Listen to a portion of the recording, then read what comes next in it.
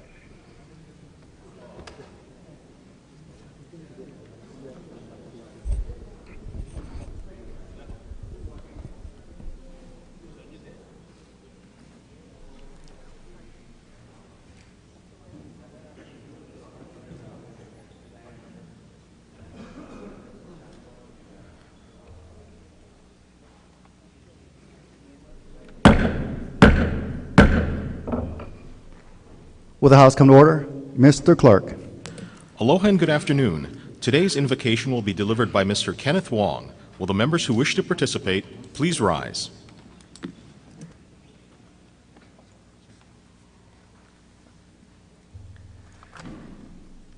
Speaker Souki, members of the House, thank you for inviting me. Uh, this is a real honor for me.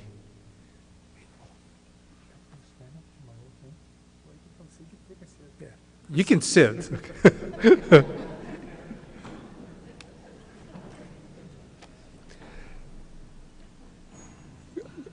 Growing up, I heard of Good Friday, but I didn't really know what it was about. When I became a Christian at 35 years of age, I learned that on Good Friday, God's only Son, Jesus, was struck 39 times with a whip containing shards of metal and glass that tore out his flesh, and then he was crucified. What's so good about that? Why do they call it Good Friday? I mean, we all heard of Pauhana Friday, that's good. We all heard of TGIF, thank God it's Friday, that's good. Sandy Beach on a Friday afternoon, five feet in glassy, that's good. If it was up to me, knowing what happened on that Friday, I would call it Bad Friday. It, it puzzled me, so I started doing some research, and this is what I discovered. Jesus was crucified on that Friday to take upon himself my sins, your sins, and all the sins of the entire world. Sins that prevent us from peace in our lives, from leading productive lives. Sins like lying, cheating, stealing, conniving, disrespecting our kupuna, mistreating people, and on and on and on. Basically, sin is doing anything that is not pono. Why would Akua have his only son crucified on that Friday? And then resurrect him on Easter Sunday? Because a living Jesus brings us not only eternal life in heaven, but abundant life on earth. He promises a life of love, joy, peace, goodness, kindness, gentleness, faithfulness, and self control when we follow Him. A resurrected Jesus on an Easter Sunday proves that He really did take away our sins on that Friday. If Jesus was not resurrected, then His crucifixion and his claim that he takes away the sins of, the world would mean nothing. Jesus' Friday started off looking really bad. But what looked like defeat actually turned into victory. He ended up with a pretty good three day weekend. And that's why Good Friday is called Good Friday. It's not how you start, but how you finish. God's ways are not our ways, His thoughts are not our thoughts. Sin is like walking around with a bowling ball hanging from a chain around your neck. It weighs us down, defeating us. Good Friday reminds us that Jesus exists to remove that chain and ball from around our necks. And Easter Sunday reminds us that Jesus exists to give us life and life abundantly. God has placed each and every one of you in a position of power and authority.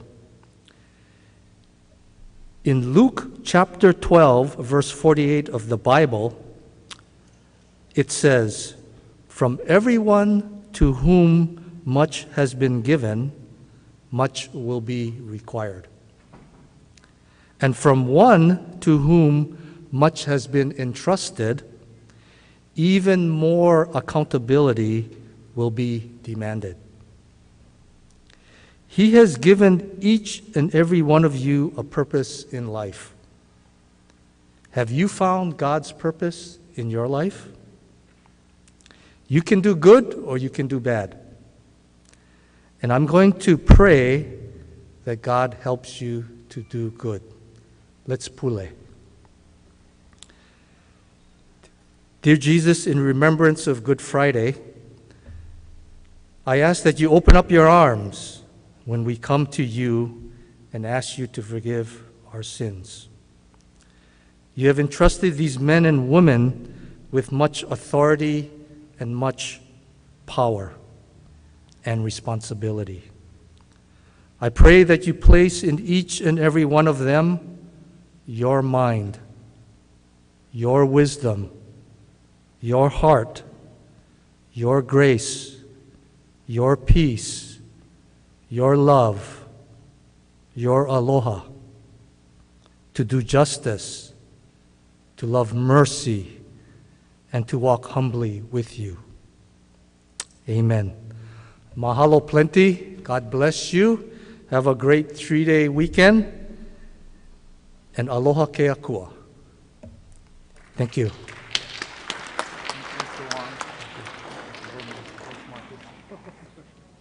Thank you, Mr. Wong. Mr. Clerk, can you please call the roll? Mr. Aquino, Ms. Belatti, Mr. Brower, Mr. Cachola, Mr. Choy, Mr. Creagan, Mr. Cullen, Ms. DeCoite, Ms. Evans, Ms. Fukumoto Chang, Ms. Har, Mr. Hashem, Ms. Ichiyama, Mr. Ing, Excused. Mr. Ito, Mr. Johanson, Ms. Jordan, Mr. Kawakami, Mr. Keohokalole, Mr. Kobayashi, Mr. Kong, Excused. Mr. Lee, Mr. Lopresti, Ms. Lowen, She's here. Ms. Luke, Ms. Matsumoto, Mr. McDermott, Mr. McKelvey, Ms. Morikawa, Mr. Nakashima, Mr. Nishimoto, Mr. Ohno, Mr. Onishi, Mr. Oshiro, Mr. Pouha, Mr. Rhoads, Mr. Saiki, Ms. San Buenaventura, Mr. Say, Excused. Mr. Souki, Mr. Takayama, Mr. Takumi, Ms. Thielen, Mr. Tokioka, Mr. Tsuji, Ms. Tupola, Excused. Mr. Ward, Mr. Woodson, Excused. Mr. Yamane, Mr. Yamashita, Mr. Speaker. Here. Mr. Speaker, 46 members are present, five are excused. Thank you, Mr. Clerk. Please note the presence of Speaker Emeritus Say. Reading of the Journal, Representative Evans. Mr. Speaker, I move we dispense with the reading of the journal of the 13th through the 23rd days and approve the same as though read throughout. Thank you very much. Representative Pouha? Mr. Speaker, I second the motion. Thank you very much. It's been moved and seconded that the journal days 13 through 23 be approved. Any discussion? If not, all those in favor signify by saying aye. All those opposed saying no. The motion is carried. Mr. Clerk, are there any messages from the governor? Mr. Speaker, there are none. Thank you very much. Mr. Clerk, are there any Senate communications? Yes, Mr. Speaker, we are in receipt of communications transmitting the noted Senate concurrent resolutions, both having been adopted in the Senate. We are in further receipt of communications returning the noted House bills, both having passed third reading in the Senate. Thank you very much. Representative Saiki?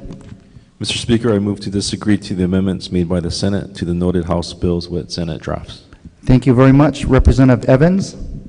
Mr. Speaker, I second the motion. Thank you very much. This is a procedural vote. It will be also a voice vote. All those in favor signify by saying aye. All those opposed say no. The motion is carried. Members, are there any introductions? Yes, Representative San Buenaventura. Um, I would like to introduce a witness in many of my hearings, Demont Connor from Nanakuli, his wife Rachel Connor, um, their Tutu Ina Agkalon, and they are here to celebrate the ninth birthday of their grandchild, Harley. Could you please, we are welcome to the House of Representatives. Happy birthday, Harley. Thank you, Representative. Further introductions, members? Yes, Representative Jordan, followed by Representative McDermott. Thank you, Mr. Speaker. Um, Mr. Speaker and members, I would like to extend a warm welcome of aloha to members of the Habitat for Humanity or who are here with us today in the gallery. Please hold your applause while I, uh, address each one of them. They include um, Jim Murphy of Honolulu Habitat, Stephen Spears of Maui, Oh, he didn't make it? Sorry. Um, also present will be Sherry Dodson. She's from Maui. And Jean Lilly of the Habitat State Association. Um, with Gary Passion, the state president, State Association Board of Directors. And we all know Mr. Massengale. Massengale, yes. I was thinking first name first. George. George. I should have remembered that. You know, being Georgette, I should have known better. Sorry. Sorry, George.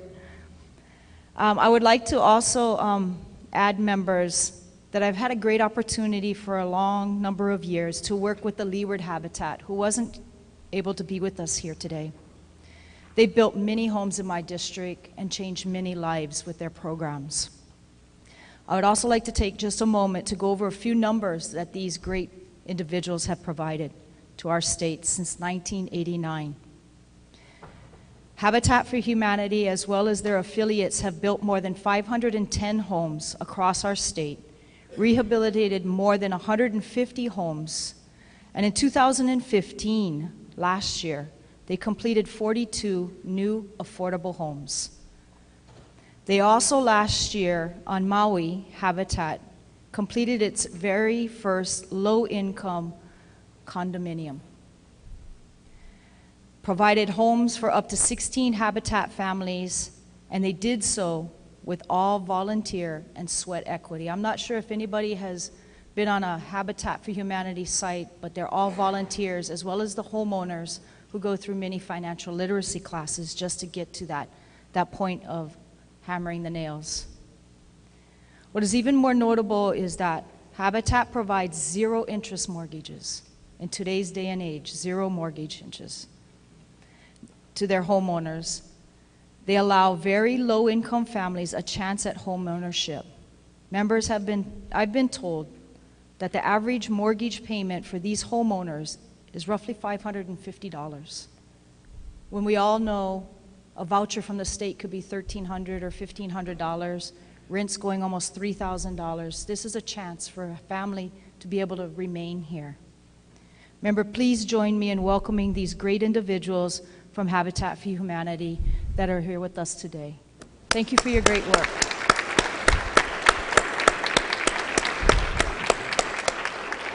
I'd also like to just to provide a little story because I did know an individual. Her mother owned a piece of property and the home became so dilapidated that they couldn't live in it any longer. And the family was several generations of families. And those families had to split up into different homes once they couldn't habitat, habitat their old home. It was many, many years, but through Habitat for Humanity, they were able to get financial literacy. They were able to tear down their old home and rebuild a, a brand new home right off of Mill Street in Waianae. And they were able to bring all the family back together. And now they reside in that home. So, I mean, it, it is, they have great success stories. Sometimes it takes a long time for the families to get ready to be approved for even a $550 mortgage. And then to get all that sweat equity and then put all that effort into building their home again. But just to see the family smiling and be able to save a family's home. They not only work on private properties, they also help on DHHL lands as well as other properties in the state. So I'd really, really like to thank them for all their great work that they've done. And I look forward to some of the great success that we're going to have in the near future with them. Thank you, Mr. Speaker. Thank you very much, Representative. Sorry, Mr. Speaker. May I please um, have permission to submit their names into the journal? So ordered. Thank you. Thank you very much, Representative. Yes, Representative McDermott. Thank you, Mr. Speaker. I understand we have some uh, eager young minds in the gallery with us today, some high school students here to learn about civics. Some of them are from Campbell High School. I think they're from a collection of high schools. Would you young folks please rise to be recognized? Let's give them a hand, members. All of you, please. All of you stand up.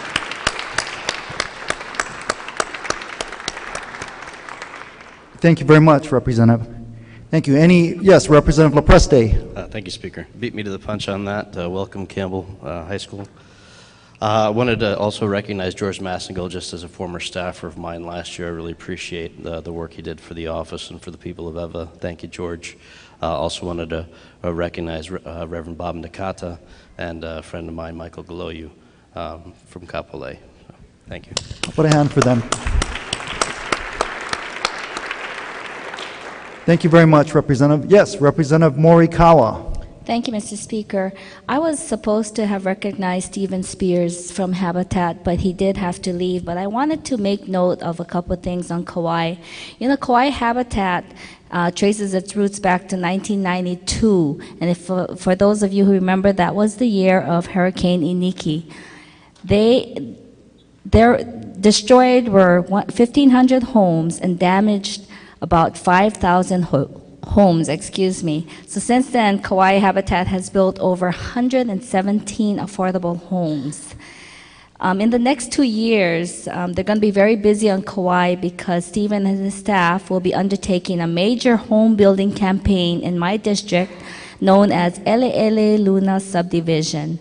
So thank you, Kauai, for Kauai Habitat.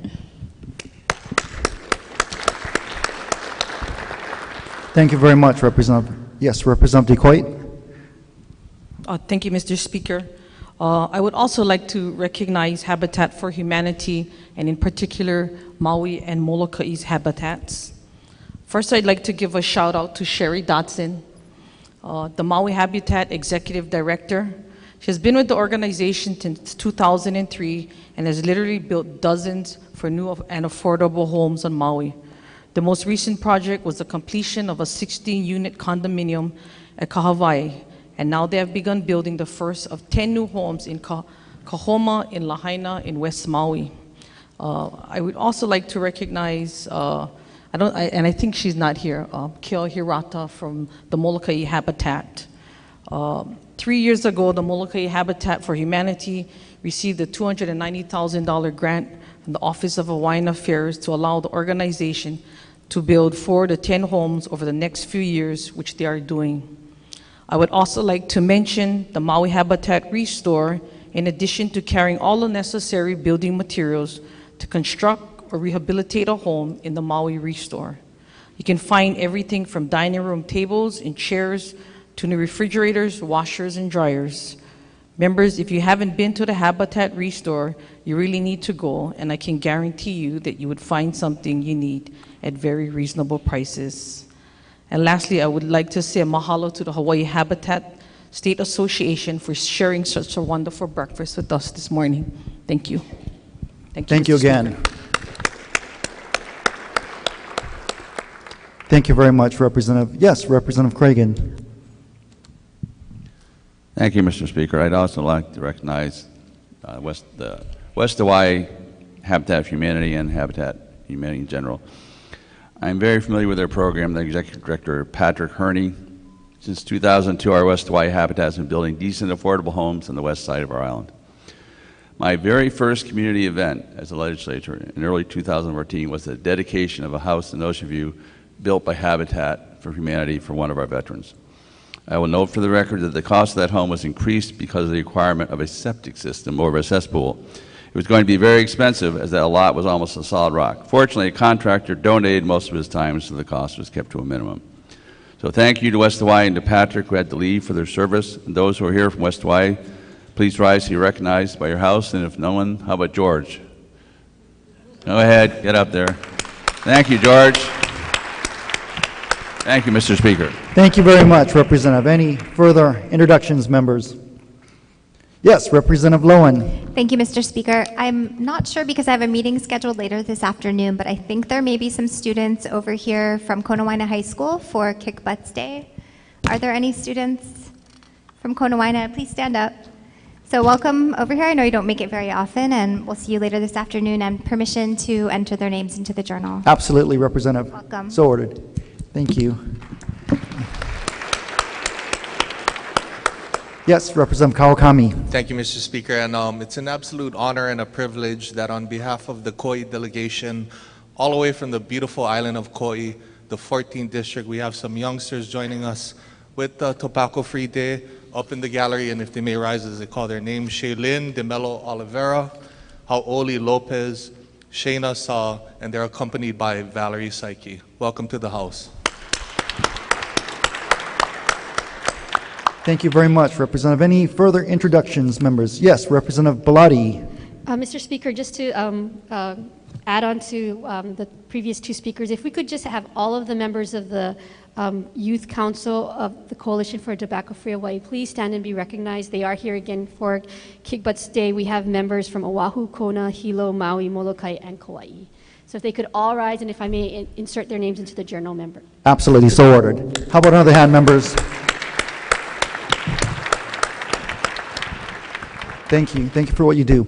Any further introductions, members? Yes, Representative DeCoite, a second time? Yes, sorry, Mr. Speaker. Um, again, I, um, being that we have very few uh, visitors from the island of Molokai, I would also like to introduce from Kick Butts of Molokai High and Middle School, Linnell Kariaga Abafo, uh, Dylan Aquino, Hoku Horsewell Carroll, and Chanel Kalili. If you would please stand and be recognized by the House if you're here. Okay, we must have another delay in Ohana Airlines. Sorry, Mr. Speaker. Thank you. Thank you very much, Representative. Yes, Representative Cachola. Mr. Speaker, I'm very honored to present to you a former member of this House and head of FACE, the very Reverend Bob Nakata. Let's give him a big round of applause.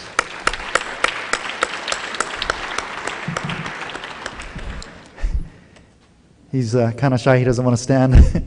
Thank you. Any further introductions, members? If not, Representative Saiki. I'm sorry, members, we're on item number five, reports of standing committees. Representative Saiki. Mr. Speaker, I move to adopt SCR numbers 1195-16 through 13-16 on pages 2 through 31, and the attached Senate bills as may be amended past second reading and/or be referred to their designated committees. Thank you very much. Representative Evans.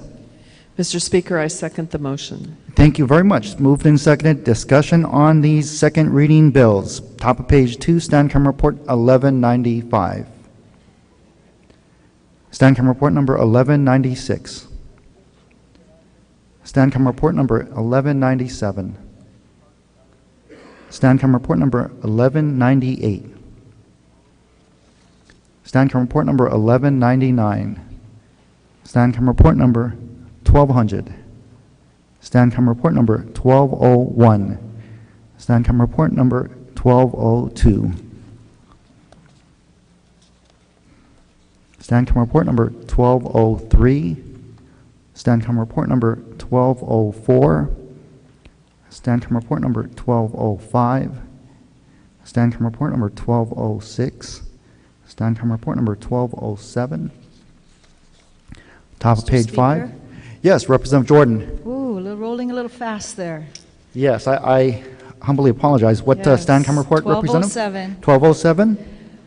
Ah, Please note my strong reservations on this, Mr. Speaker. WR it is. I'm not comfortable with um, allowing um, the Office of Elections to have access to databases at this point in time, Mr. Speaker.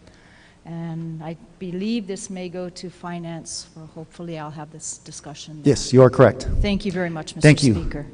WR duly noted. Any further discussion, Stand-com report number 1207? If not, I know we're ro- rolling at a rapid pace. Uh, We've got about 38 pages. Stand-com report number 1208. Yes, Representative McDermott. Mr. Speaker, I stand in support of this measure. Uh, The the fee is very nominal, and normally I'm against the increases of fees. However, this service is widely available for free if you have an account at a bank or a credit union. They do it as a courtesy. This might be an opportunity for us to get out of regulating this altogether. Um, That's something perhaps we should think about in the future. Thank you. Thank you. Thank you very much, Representative. Any further discussion, members? Stand-com report number 1208. If not, Stand-com report number 1209. Stand-com report number 1210. Stand-com report number 1211. Top of page six, Stand-com report number 1212. Stand-com report number 1213. Stand-com report number 1214. Stand-com report number 1215. Representative Johanson. Uh, Thank you. In support with permission to insert written comments. So ordered. Thank you very much, Representative. Any further discussion? Stand-com report number 1215. If not, thank you. Top of page seven, Stand-com report number 1216. Stand-com report number 1217. Stand-com report number 1218. Stand-com report number 1219. Representative McDermott. Speaker, just reservations. I have no concerns. I support it. I have reservations. I have no concerns about the naming, particularly for anyone who's given their life in public service to our country or state. It's just the priority of the school construction. That's So Thank you. Thank you very much, Representative. Any further discussion on Stand-com report number 1219? If not, thank you very much. Members, top of page eight. Stand-com report number 1220. Stand-com report number 1221. Stand-com report number 1222. Stand-com report number 1223. Top page nine. 1224. Stand-com report number 1225. Stand-com report number 1226. Stand-com report number 1227. Top of page 10. Stand-com report number 1228. Stand-com report number 1229. Representative McDermott. You are going at a wicked pace, Mr. Speaker. Uh, Thank you. I'm going to vote no on this, sir. Thank you. So ordered. Thank you very much, Representative. Any further discussion? Stand-com report number 1229. Yes, Representative McKelvey. I, I- Mr. Speaker, I do stand in support, but I just want to pu- publicly mark that the support is contingent upon general fund support for this to happen, because as was pointed out in testimony, if there is no general fund support for this at all, the fees for each student could dra- dramatically rise, even if we spread the class out as large as possible to all the schools, regardless of the vocational license that potentially could be impacted. So I hope the next committee, when they hear this, will help to work with education and CPC for that general fund support. Otherwise, I may not be able to support this at the very end. Thank you. Thank you very much, Representative. Any further discussion? Again, members, we're on Stand-com report number 1229. Thank you. Stand-com report number 1230. Stand-com report number 1231. Top of page 11. Stancom report number 1232. Stancom report number 1233, Representative McDermott. Speaker, I stand in support with reservations. So ordered. I voted against this measure on third reading when it left the House.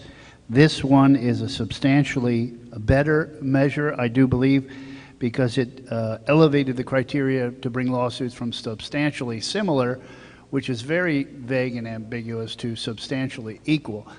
So for that reason, I support it. Thank you. Thank you very much, Representative. Any further discussion, members? Stancom report number 1233. If not, thank you, members. Stancom report number 1234. Stancom report number 1235. Stancom report number 1236. Yes, Representative Jordan. Uh, I have reservations on this one currently. I don't think we should be changing this, but I'm going to listen to the dialogue in finance. So Thank you, ordered. Mr. Speaker. Thank you very much, Representative. Yes, Representative Preste. Reservation. So ordered. Thank you very much, Representative. Any further discussion, members? Stancom report number 1236. If not, thank you. Speaker. Yes, Representative Ward. Reservations, please. So ordered. Thank you, Representative. Yes, Representative McKelvey. Uh, same request. So ordered. WR for McKelvey. Further discussion, members? We are still on Stancom report number 1236. If not, thank you very much. Stancom report number 1237. Discussion. Stancom report number 1238. Stancom report number 1239. Stancom report number 1240. Stancom report number 1241. Stancom report number 1242. Stancom report number 1243. Top of page 14, Stancom report number 1244. Stancom report number 1245. Stancom report number 1246. Stancom report number 1247. Top of page 15, Stancom report number 1248. Stancom report number 1249. Stancom report number 1250. And Stancom report number 1251. Top of page 16, Stancom report number 1252. Representative Ward. Uh, Reservations, please. So ordered. Thank you very much, Representative. Further discussion? We're on Stancom report number 1252. Thank you very much. Stancom report number 1253. Stancom report number 1254. Stancom report number 1255. Top of page 17, Stancom report number 1256. Yes, Representative Jordan. Please note my reservations on this measure. So ordered. Thank you very much, Representative. Any further discussion, members? If not, thank you. Stancom report number 1257. Stancom report number 1258. Stancom report number 1259. Top of page 18, Stancom report number 1260. Stancom report number 1261. Stancom report number 1262. Stancom report number 1263. Top of page 19, Stancom report number 1264. Stancom report number 1265. Stancom report number 1266. Stancom report number 1267. Top of page 20, yes, Representative Uh, McKelvey. Can we go back to 1266 for one second? Absolutely. 1266, Representative McKelvey. Uh, Just because in committee I said that the delimitator was 300,000 square miles, and upon further review, that would pretty much be the size of China. So the Big Island is actually 3,000 square miles, and that's the proper thing, and it's in the bill now. So just want to let everybody know who's in committee. When I said 300,000 miles, we're not trying to add China to our prescription network benefits. Ye- Yes, correction duly noted, Representative McKelvey. Uh, For what purpose do you rise in support, in, in support, with that, with that With duly that noted? clarification for the record. okay? Absolutely. Thank you very much, Representative. Appreciate it. Any further discussion? We're back on Stancom Report number 1266. Thank you, members. We already completed uh, Stancom Report number 1267, I believe. That will put us at Stancom Report number 1268, top of page 20. Discussion. Thank you very much. Stancom Report number 1269. Any discussion? Stancom report number 1270, Stancom report number 1271, top of page 21, Stancom report number 1272, Representative Thielen. Surprise. Thank you, Mr. Speaker. Um, In I'm- support. I'm in strong support, but I wanted to point out a couple of things to the chair and members of finance. Um, On page 17 of the bill, this is requiring um, the farmers to have case-hardened locks and chains to limit anyone getting near a plant that won't get anyone high. I mean, the restrictions are really pretty absurd.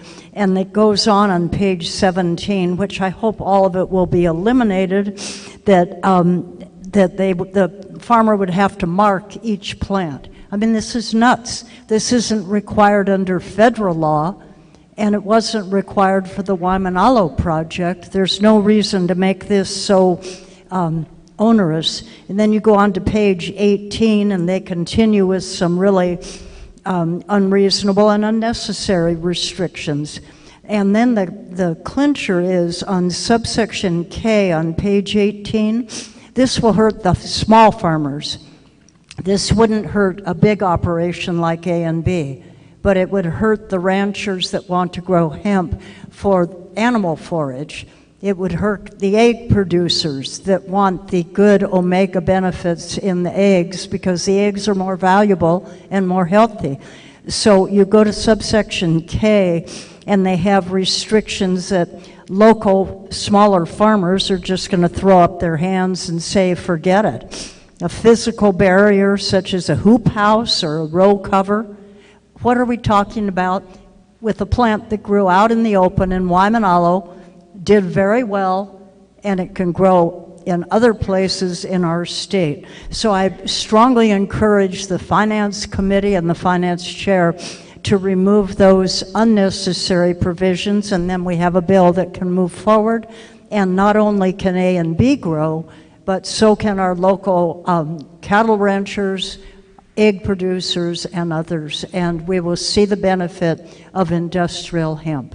Thank you. Thank you very much for your concerns. I'm sure the finance chair will take those into consideration along, along with her committee. Thank you very much. Representative McKelvey. Thank you, Mr. Speaker. Uh, For those very reasons, I'm going to go with reservations on So- the measure. I'd like to adopt the words of the previous speaker. So as if ordered. they were my own. And to note, you probably have a better chance of getting high smoking the signs that they want to put on the plant than you do the plant itself. Thank you. Thank you very much. Yes, Representative Ing. Um, in support, In support, please proceed. But I will uh, mention a few of my concerns. Um, first, I'd like to adopt the words of the Representative Fakailua. So ordered. Uh, we had a bill that crossed over to the Senate, which was very open. It, it was a free market type of bill, um, opened the industry out to anybody who wants to participate. You simply need to sign a memo, memorandum of understanding with the Department of Agriculture. That model was based on what has been successful in Kentucky and Colorado, which, where there's over 1,000 growers now um, growing industrial hemp uh, without any repercussions from the DEA or the federal authorities um, in general. And this bill, when you read through the language, it tends to treat industrial hemp as a drug, and not just the growing and selling of it, but you know, right now you can go on Amazon and you can buy hemp seeds to plant or eat or to cook with or whatever. But uh, you know, if this bill passes, there could be questions of whether you can still do that without all these procedures. Um, Alexander and Baldwin themselves said, "Hey, Kaniela, we support your language a lot better than this uh, overly comprehensive, verbose bill." Uh, but they did try to propose amendments um, in order to make our bill uh, limited to just one corporation or one pilot project. And you know, as a legislature and looking to open up a new industry for our economy here in Hawaii and diversify our economy here in Hawaii, I don't think we should be um, limiting it to one corporation just because they asked. Um, and you know, moving on, I hope that we could adopt language that's, that's not maybe not identical, but a lot closer to what we proposed um, in the House. Thank you. Thank you. Thank you very much, Representative. Thank you very much. Any further discussion, members? We are still on Stancom report number 1272. Okay, thank you very much. Stancom report number 1273. Representative Jordan, Please note my reservations on this, Mr. Speaker. so ordered. Thank you very much, Representative. Any further discussion, members? If not, Stancom report number 1274. Stancom report number 1275. Yes, Representative Preste. Thank you, Mr. Speaker. I rise in support, but I did want to express some concerns. I, I support this measure for the law, use of law enforcement cameras. Uh, in fact, it has, I think, the entirety of my HB 1738 put into it, but it's been substantially changed, as I understand it, and that gives me some cause for concern. Um, the, the bill that I had introduced that goes along with this idea helps protect privacy rights. I don't think it's a good idea that just because any time a citizen walks in front of a police officer, they lose their Fourth Amendment right to privacy. Uh, because um, I'm concerned that the way that some of the language in this bill is being altered or, or evolving, it, it's going to allow that anytime you have any interaction with an officer, it, it could be on YouTube. You know, just because uh, somebody makes a noise complaint or an officer has a conversation with you doesn't mean that it should now be just accessible to the media or the public. God forbid somebody loses a, a loved one in a car accident. Now, what the footage is going to be on YouTube and the, and the six o'clock news. I don't think anybody uh, should have to go through that for criminal purposes. I'm concerned it could pollute jury pools if it's just automatically available um, to the public if there's an arrest or, or some uh, violent altercation, even. Certainly, it should be available for review. Uh, I think there should be some judicial controls as to when footage is released.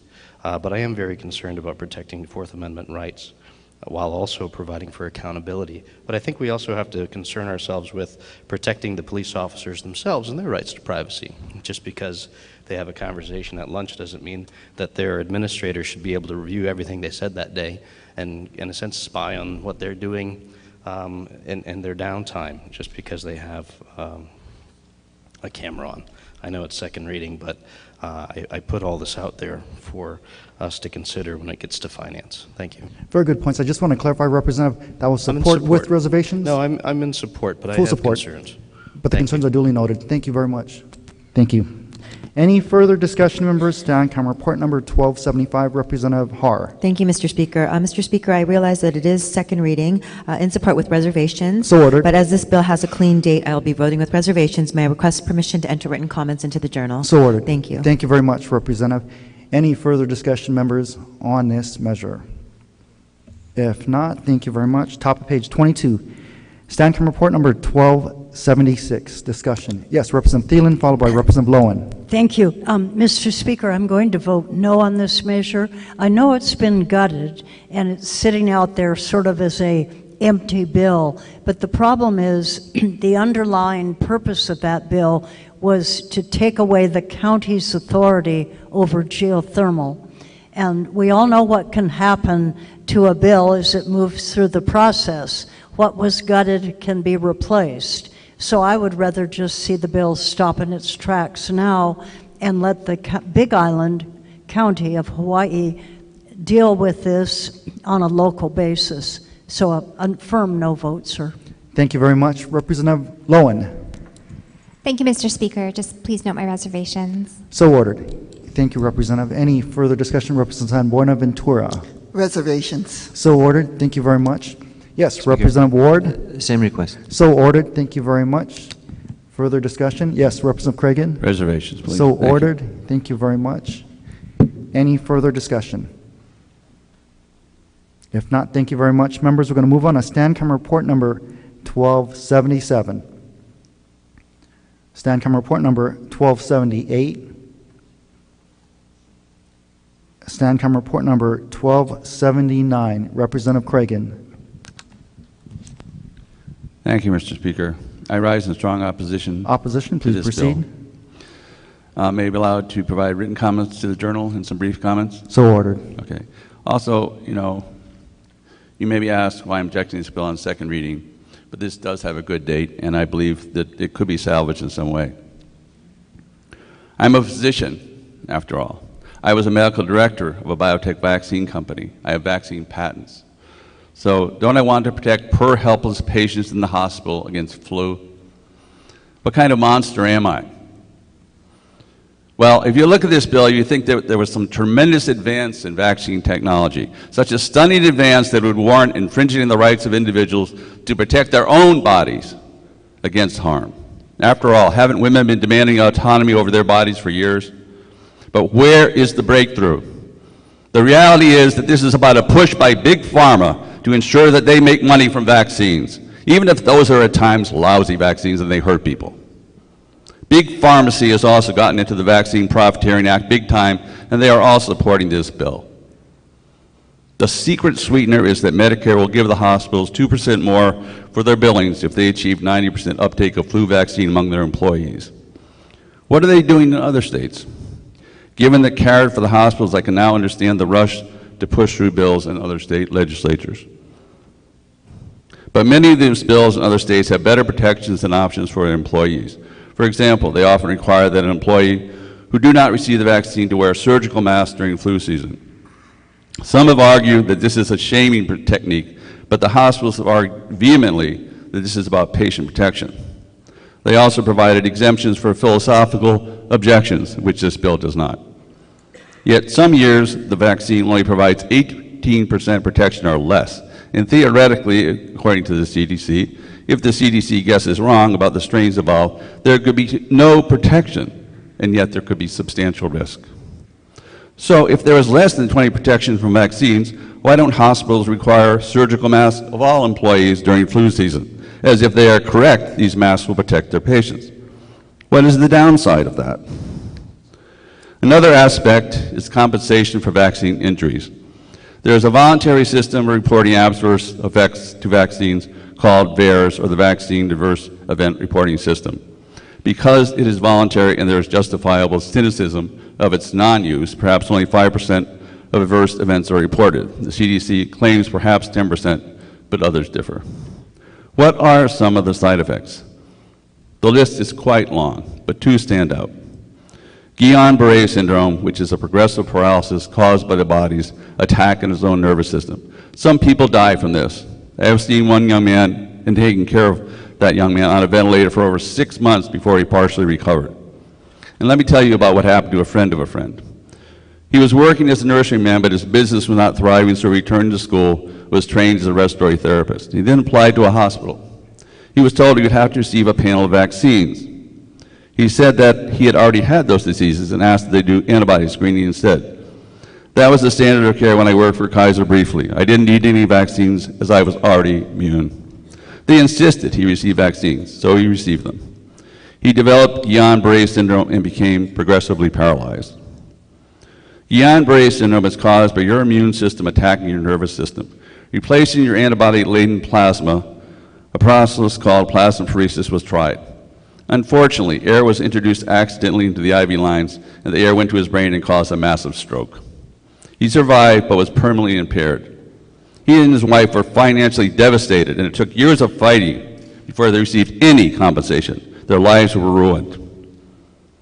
The informed consent document from the CDC also acknowledges that people can be killed by that shot. The most likely reason for this is that an anaphylactic reaction, often caused by an egg allergy, although not all flu vaccines contain egg. Some versions of flu vaccine also contain mercury, although there are safer alternatives. Safer, but not cheaper. The next issue is who pays if someone is injured by vaccines. After a number of successful suits against vaccine makers for brain damage due to pertussis, vaccine manufacturers were Mr. Speaker? Yes, Representative Uh, McCovey. Since I'm op- opposition to, I'll yield my time. Okay, thanks. Thank you. Thank you very much, Representative. Thank you. A national vaccine injury compensation program was thus set up. For a small amount of 75 cents per dose, vaccine manufacturers were largely off the hook. Instead, injured parties had to file their claims in the vaccine court in Washington, D.C. The court seemed like a good idea, but in practice it is a sham. The government has unlimited resources to pay its witnesses, and those witnesses, as in the workers' compensation system, can often be paid liars. The injured parties, however, have to pay their witnesses up front, and that all legal fees may be covered after the fact, it is very difficult to get legal representation, and without that, you can almost forget any compensation. I was a witness for two children in the vaccine court who lost most of their hearing after improperly given HIV vaccines. One of them who received the improper vaccine at 15 months developed neurologic symptoms consistent with autism spectrum disorder and was still unable to read in his teens. His sister, who received the vaccine at four years of age after the brain was fully developed, is, the, excuse me, is now at Dartmouth on a, a $50,000 scholarship. Neither of these children received any compensation for their injuries, none. The last thing that I think is egregious is that this bill is a major infringement on employees' rights and should have been heard in the Labor Committee, and it was not. I think that using the state's power to force this issue, not based on medical science but on money issues, while ignoring the individual philosophical objections of the recipients, is reprehensible. I would propose that given the amount of money the hospitals receive, it would behoove them to use a carrot approach and support funding, I would support funding a pilot program at Heal Hospital to give perhaps $200 to an employee if they receive the vaccine. I think that a program of surgical masks could also be employed given the increased protections that mainland hospitals claim. This could be compared as a control group to Kona Hospital within the HHSC system and a report provided to the legislature for further evaluation next session. Given the potential savings to the system, I think this is a more reasonable approach. I do think, however, that close attention be given to the informed consent component of this program and to the programs in pharmacies. I doubt people are being told the vaccines can paralyze them or kill them, and I think the compensation or lack thereof for injury should also be explained. Thank you. Thank you very much, Representative. Any further Speaker. discussion? Yes, Representative Ward. Speaker, I was going to vote with reservations on this bill, but with the usually calm, quiet, uh, sometimes I can't even hear him speak, but with the commitment that he just gave, I'm going to go for a no vote, Mr. Speaker. No Speaker. vote, so ordered. And while he was speaking, I was remembering when I was the Peace Corps country director in East Timor, we had to vary the vaccines with our volunteers. And they would tell me that, you know, if you use the North American one, you can have this rate of effect. If you use the African or the Southeast Asian one, this really sometimes is a crapshoot. So we think when we get a flu shot, we're really getting what we're supposed to be getting. The probabilities are, as the good gentleman and the Peace Corps volunteer himself has just said, it's a crapshoot. And now to force it, and I didn't know it was for the big farm guys that were doing it. For all of those reasons, Mr. Speaker, this is not a good policy. Thank you. Thank you very much, Representative. I've got Representative San Buenaventura and a couple others. Yes. With reservations. So ordered. I'm one of those who annually take my flu vaccination. I, I and my family do whatever the doctor tells us to do as far as taking vaccinations.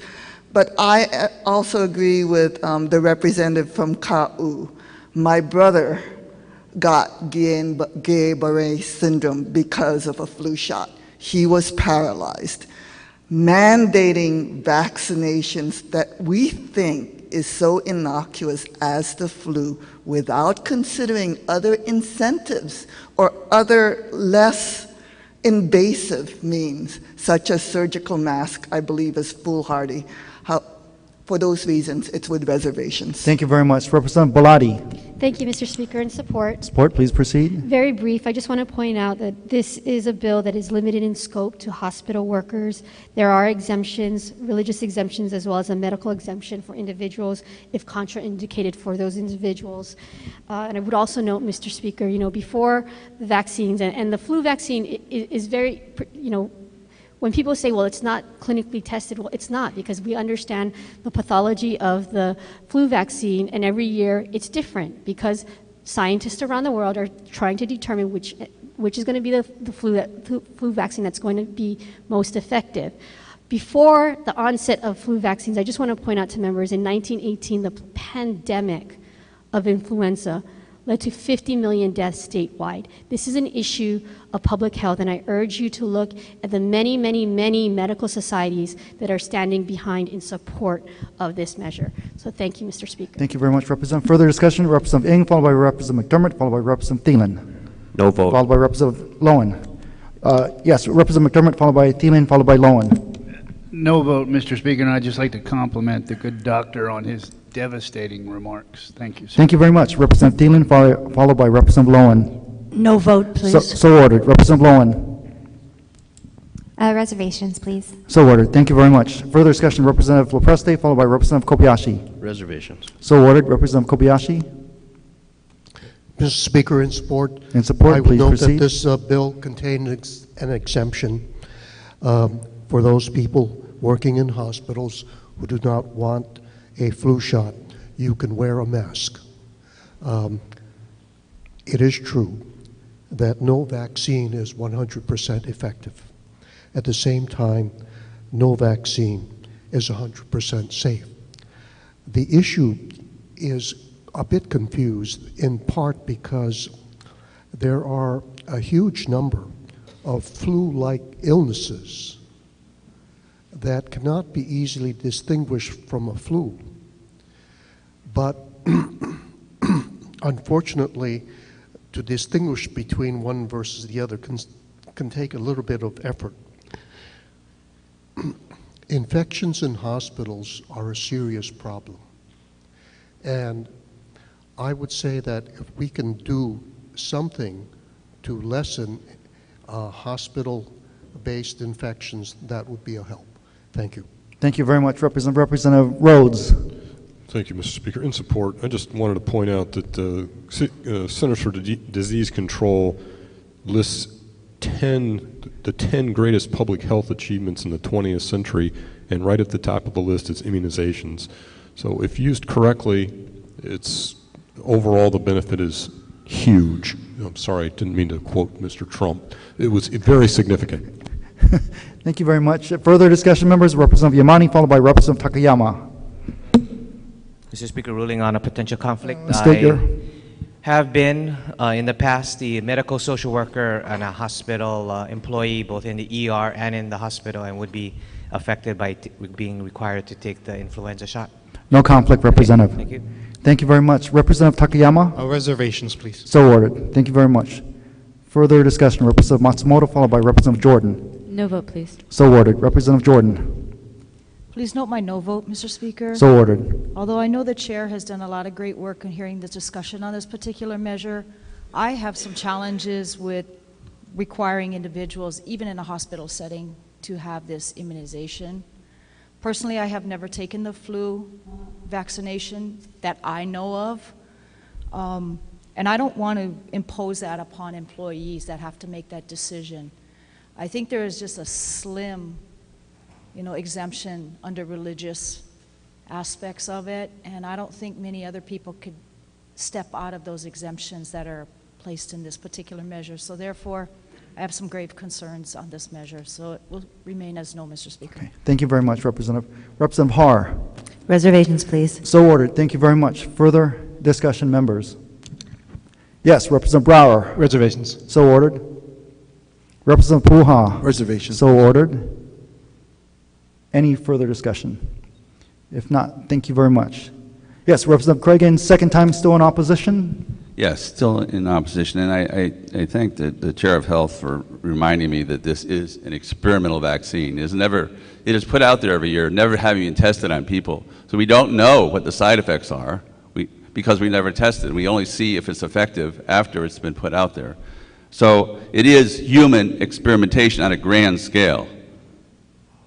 The other thing is, unfortunately, uh, the exemption that uh, my friend on the Health Committee uh, indicates was there for wearing masks is not in the bill, and there is no philosophical exemption as is provided in almost every other state that requires this.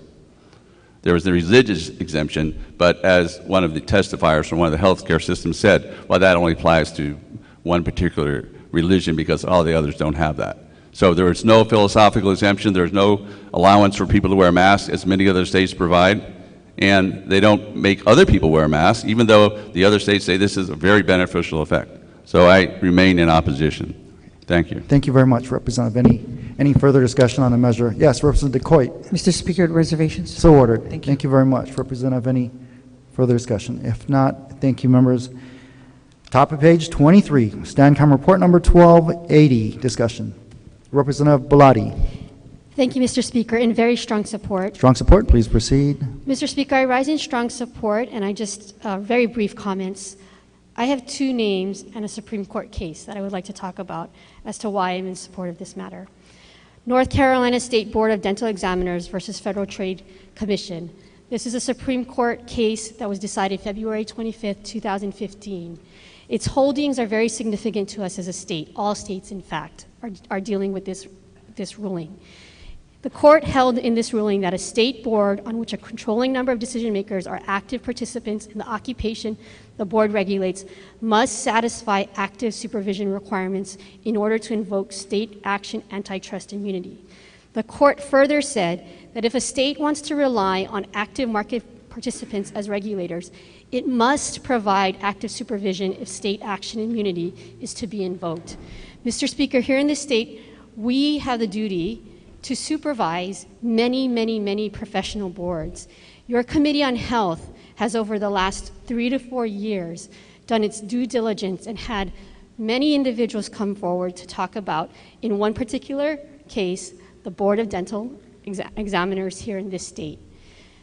Mr. Speaker, this bill is an important measure, and I feel like I need to stand up on second reading because I'm not even sure that this will get further hearing, but I look forward to working with the future committee and members on this measure. This measure would seek to clarify what is the legislative intent uh, uh, for the regulation of dentists, dental hygienists, and dental assistants in this state. The three names I would like to leave with you, Speaker, as to why we need to do this. Not simply because of a Supreme Court ruling, because we should actively supervise these active market participants who we ask to regulate, but because of the public health and safety in this state. The three names I would like to leave you with are Finley Boyle, three years old, January 2014, passes away, dies after undergoing root canals in a Kailua, Honolulu dentist office.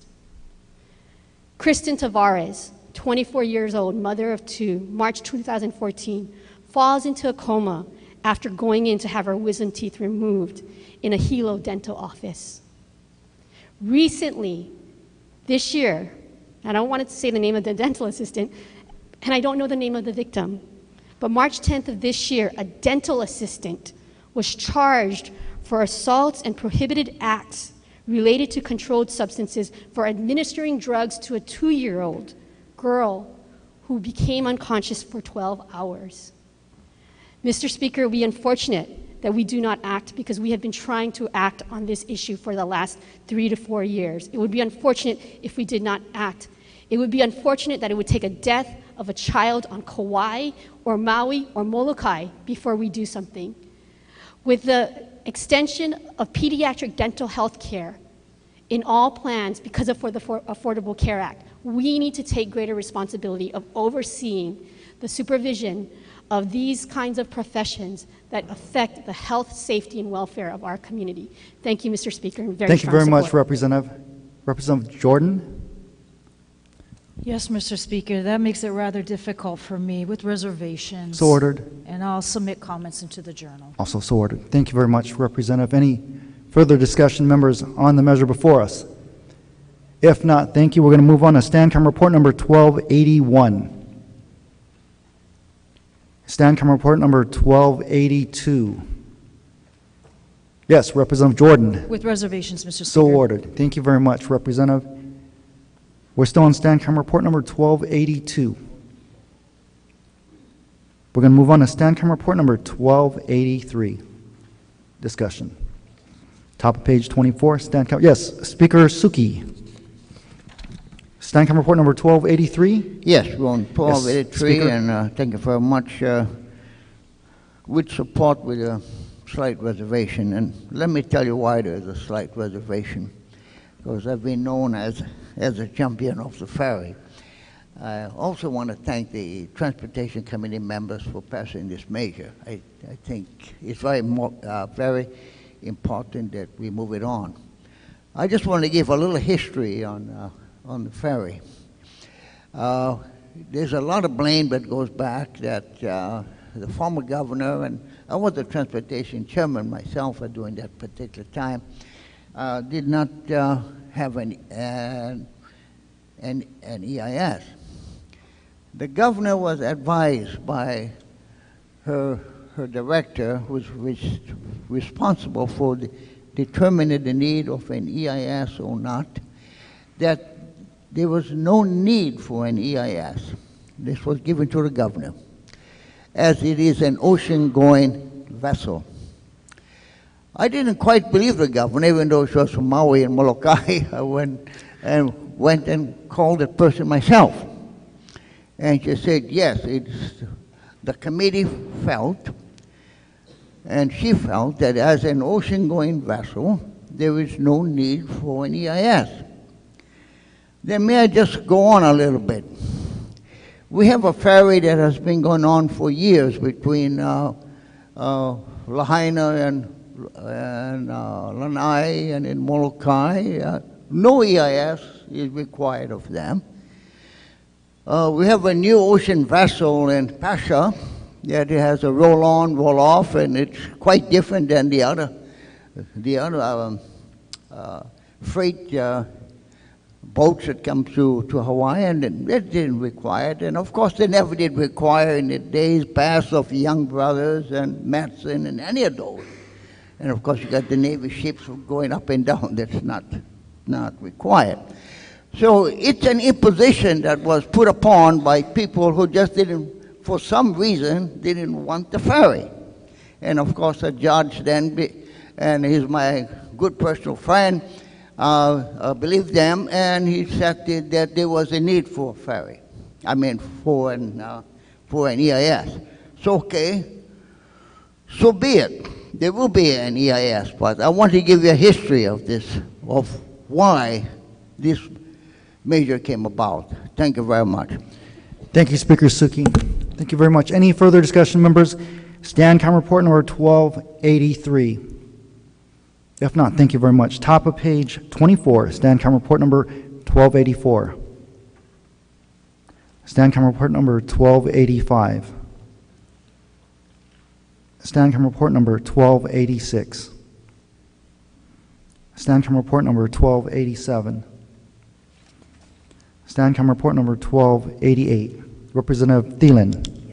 Thank you, Mr. Speaker. Um, I'm in support with some reservations. Reservations, please proceed. Thank you. Uh, What this would do is um, establish a, the Office of Planning as the lead state agency for trans- transit-oriented development coordination. There's sense to doing that, but there's a real void in the makeup of the group. You read the um, list of the different people that are to be on that, and they're all government-related. Uh, There, we don't have the development um, community in there, and there should certainly be more than one token person. But by development community, I mean those people that are uh, experienced in putting shovels to the ground and building affordable or low-cost housing. That's the brain that we need on that group, rather than just government people. So I hope as the bill moves forward, um, that it- they could, next committee, Finance Committee, could take a look at that um, makeup and get rid of a few of the, what is it, 14, 15 government people, put in those with real actual knowledge of how to do this, so it doesn't just become a talk story group, but it becomes an effective group that's going to result in affordable and low-cost housing being built. Thank you. Thank you very much, Representative. Any further discussion, members? If not, thank you very much. Stand-com report number 1289. Stand-com report number 1290. Stand-com report number 1291. Top of page 26, Stand-com report number 1292. Yes, Representative McKelvey. I hate to do this. You are lightning fast today, Mr. Speaker. Could I just really quickly, if it's okay with you, go back to um, Stancom, oh gosh, which is it? Give me a second here. The transportation one, we just, um, recess real quickly? Just one sec, just recess. Short recess. What's Stancom on the one, the airport authority? Yeah, I can't remember the number. 1287, right? Okay, okay, good.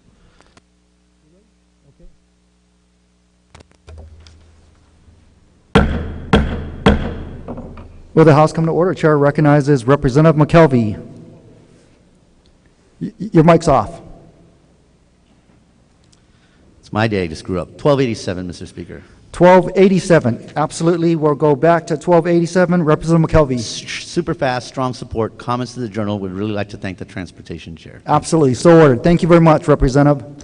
Representative Thielen. Thank you. And Mr. Speaker, on 1288, I forgot to ask, may I also have remarks to the journal, please? Yes, With- that's WR, still WR, and remarks to the journal on 1288 for Thielen. Thank you. Thank you very much.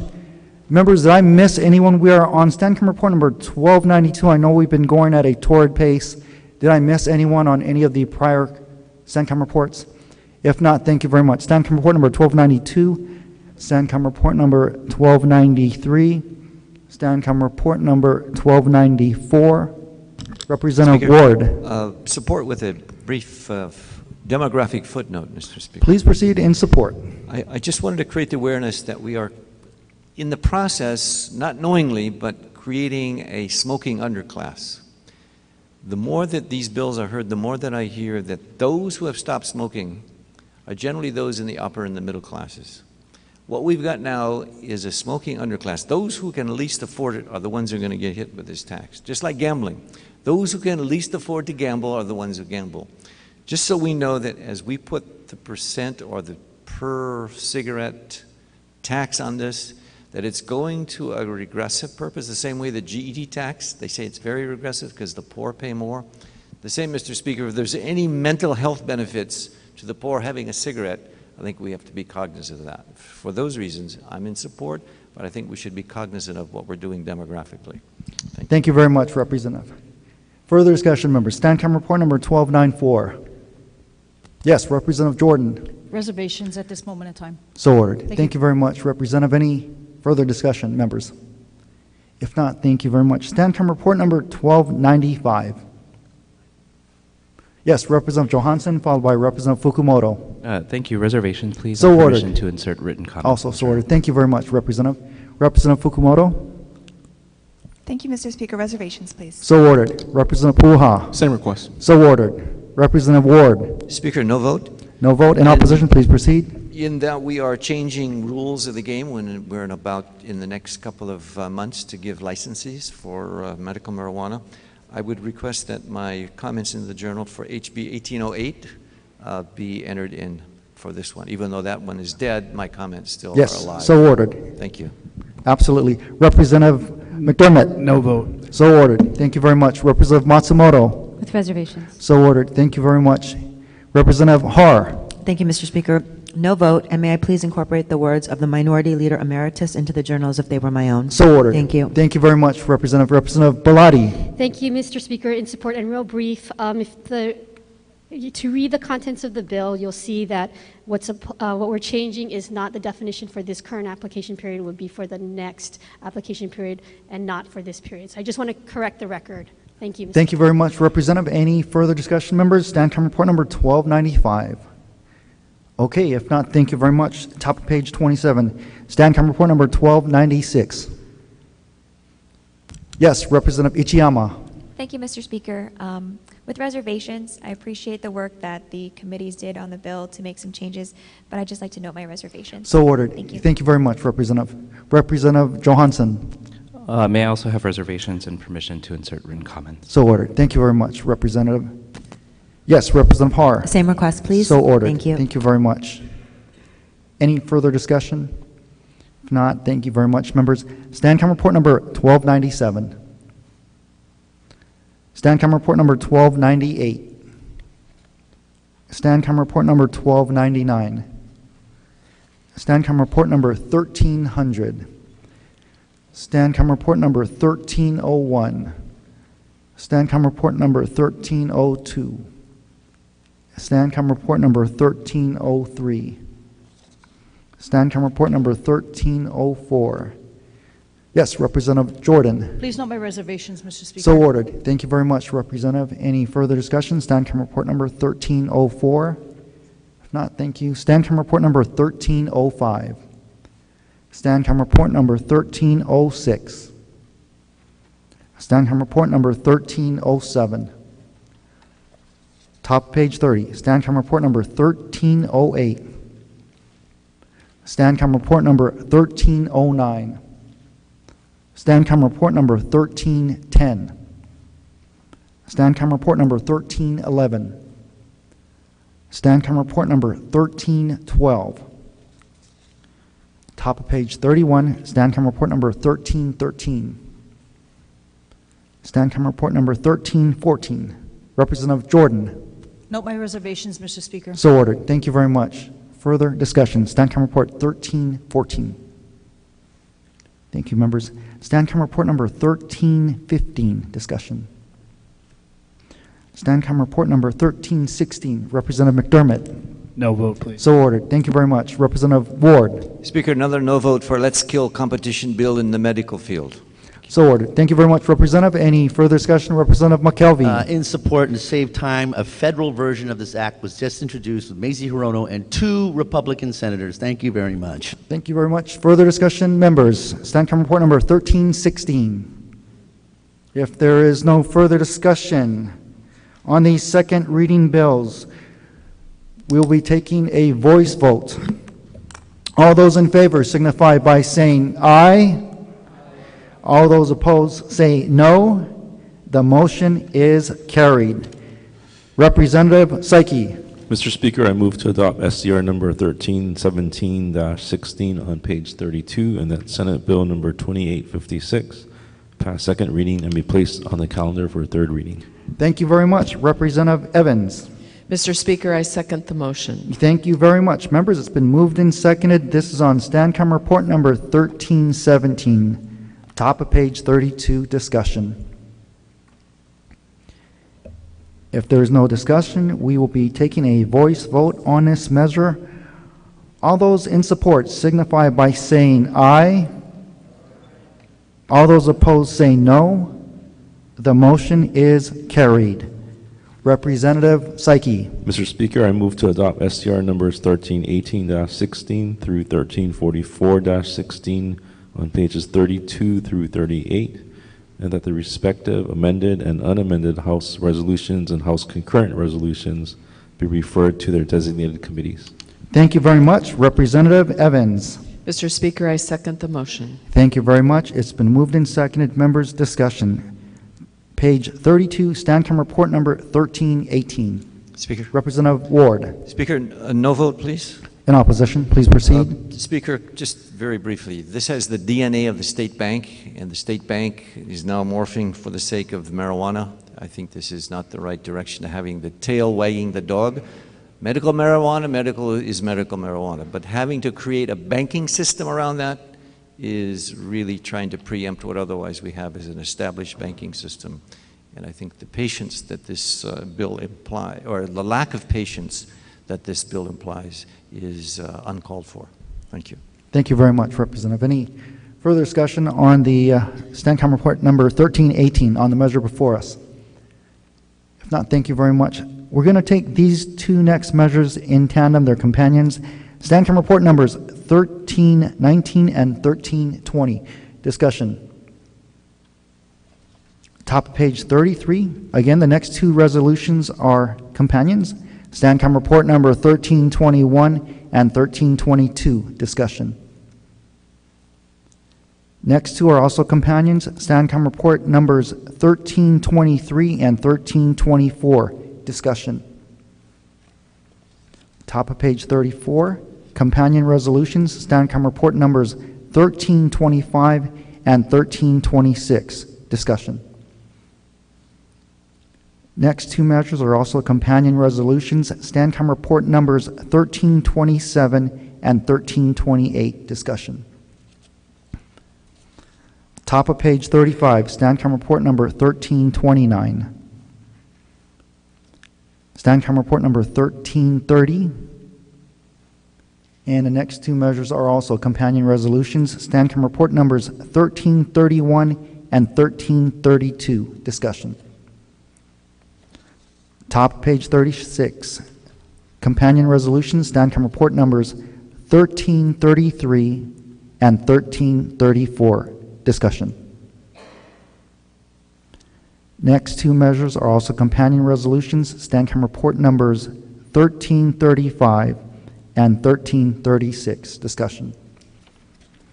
Top of page 37, companion resolutions, Stancom report numbers 1337 and 1338. Discussion. Next measure, Stancom report number 1339. Top of page 38, Stancom report number 1340. Discussion. Yes, Representative Jordan. Yes, Mr. Speaker, please note my no reserv, my no vote. No vote. So ordered. Um, Just a few comments. Please Mr. proceed. Speaker, this is Crown land, and my stance, I don't think we should be selling any Crown land or any government lands prior to 1895. Thank you, Mr. Speaker. Thank you very much, Representative. Any further discussion, stand report number 1340. If not, thank you very much, members. Stancom report number 1341, discussion. Stancom report number 1342, any discussion? Stancom report number 1343, discussion. Stand report number 1344, any discussion? There is no further discussion, members. We'll be taking a voice vote. This is for Stancom Report numbers 1318 through 1344, as listed on pages 32 through 48. All those in favor signify by saying aye. All those opposed saying no. The motion is carried. Members, are there any announcements? Any announcements? There's no announcements. Have a great Easter weekend. Representative Evans. Mr. Speaker, I move the House stand adjourned until 12 noon Monday. Thank you very much. Representative Pouha. Mr. Speaker, I second the motion. Thank you very much. It's been moved and seconded. All those in favor signify by saying aye. All those opposed saying no. The motion is carried. The House stands adjourned until 12 noon Monday.